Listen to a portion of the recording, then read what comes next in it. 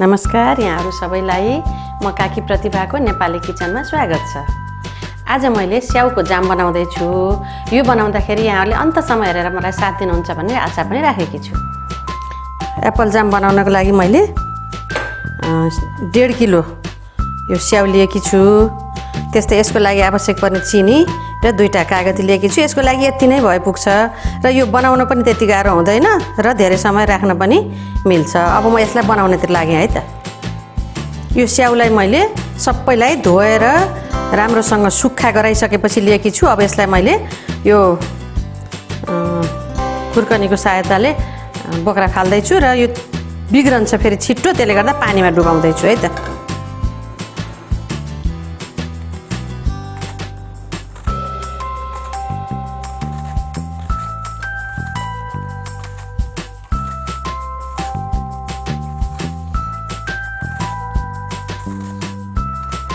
यस्तो गरी यसको बिहाको भाग हुन्छ बिचमा त्यसले गर्दा यो फ्याँकेर यसरी पानीमा राख्यो भने यो कालो हुँदैन।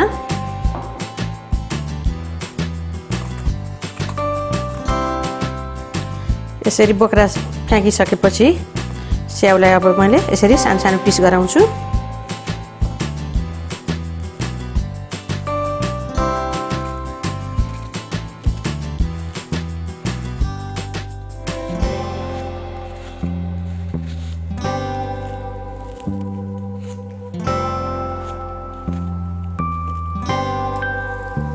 कराईमा मैले यसको एक कप पानी राखेर तताएकी छु। अब यसमा मैले अघि काटेको स्याउलाई राख्दैछु।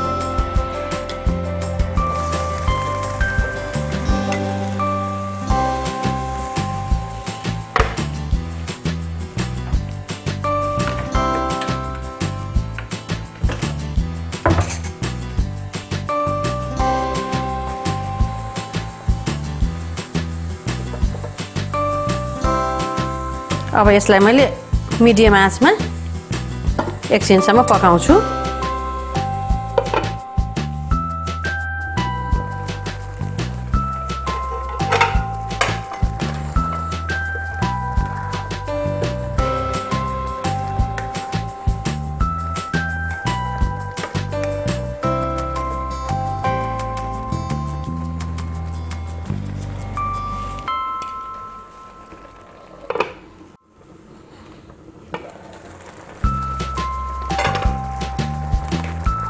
लगभग यो स्याउका पिसहरू पाकिसकेका छ। यसरी थिच्दा थिचिने भइसकेको छ। अब यसलाई मैले ग्राइन्डरमा पिसेर यसको पल्प निकाल्छु। मैले कागतीको रस निकाल्दैछु।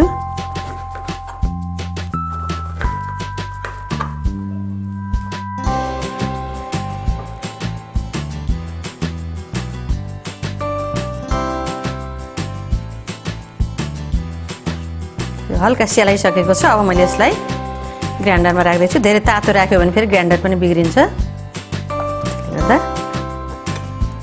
यसलाई म दुईचोटि गरेर पिस्छु।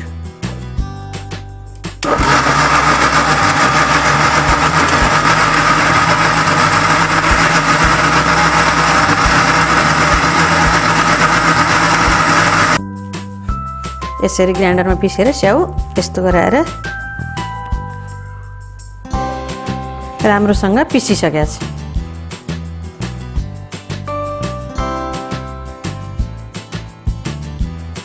कराईमा मैले यो पेस्टलाई यसरी राखेँ।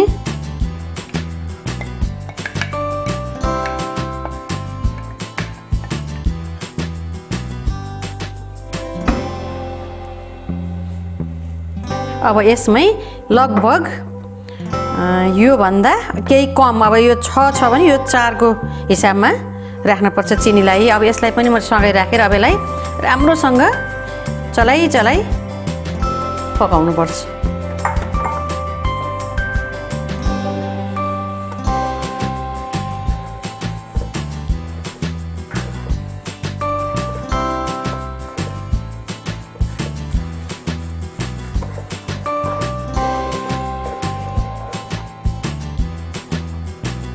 अब यसमा चिनी पग्लेपछि अलि पातलो हुन्छ र यसलाई धेरै बेरसम्म पकाइराख्नुपर्छ। बेला बेलामा चलाइ पनि राख्नुपर्छ तर यसलाई अब ढाक्न पर्दैन।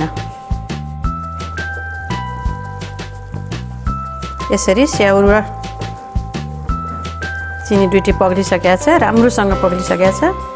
यसलाई चलाइ चलाइ पकाउनुपर्छ। यसमा अँ, फुड कलर हाले पनि हुन्छ हेर्दा राम्रो देखिन्छ तर मलाई त्यो त्यति मन पर्दैन। त्यसले गर्दा म यत्तिकै पकाउँछु।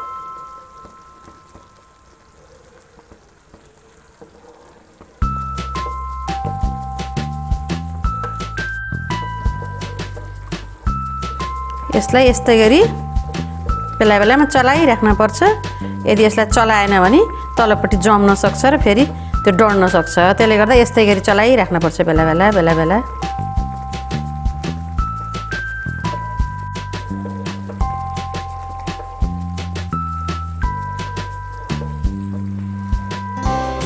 यसरी तलपट्टि बाक्लो हुँदै जान्छ। त्यसले गर्दा चलाइ राख्नुपर्छ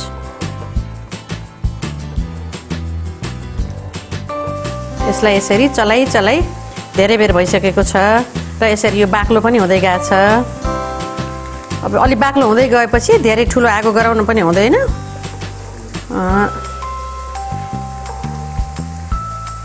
चलाइ चलाइ छोड्न हुन्न यो चलाउनु छोड्न हुन्न चलाउनु छोड्यो भने फेरि त्यो लाग्छ र डढ्छ।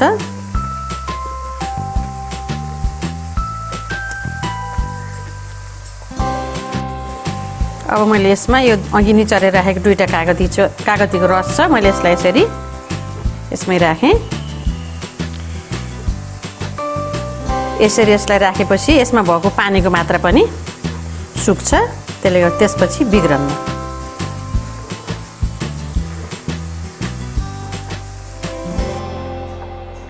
अब हाम्रो एप्पल जाम लगभग तयार हुन लागिसकेको छ।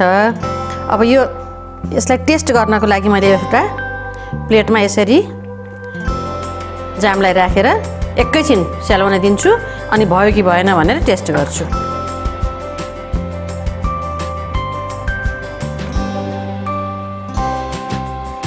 अब हाम्रो एप्पल जाम बनेर रेडी भइसकेको छ। अघि मैले टेस्ट गर्नको लागि थोरै यसरी राखेकी थिएँ। यसरी यसलाई सिधा गराउँदाखेरि पनि यो यसरी तल आएन जम्यो भनेपछि अब यो तयार भयो भनेर हामीले जान्न सकिन्छ। र अब मैले ग्यासलाई अफ गरिदिएँ। अब यो एप्पल जामलाई लगभग डेढ दुई महिनासम्म पनि सिसाको जारमा राखेपछि खान मिल्छ। र एकदम चिसो भयो भने खन्याउन मिल्दैन। त्यसले गर्दा मनतातो छ यो मैले मनतातोमै यो यस्तो खालको सिसाको भाँडामा राख्दैछु। यसलाई प्लास्टिककोमा राख्यो भने बिग्रन्छ। त्यसले गर्दा सिसाकै भाँडामा राख्नुपर्छ यसरी।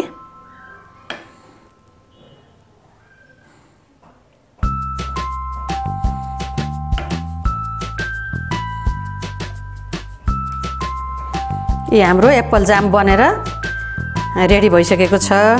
अब यसलाई बच्चा बच्चाहरूले त असाध्यै मन पराउँछन्। पाउरोटीमा लगाउन अनि आएर सुक्खा रोटीहरूमा अन्य रोटीहरूमा पनि जाम लगाएर खाँदाखेरि असाध्यै टेस्टी हुन्छ।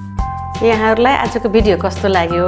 यदि मन पर्यो भने लाइक सेयर तथा सब्सक्राइब गर्न नभुल्नु होला है त।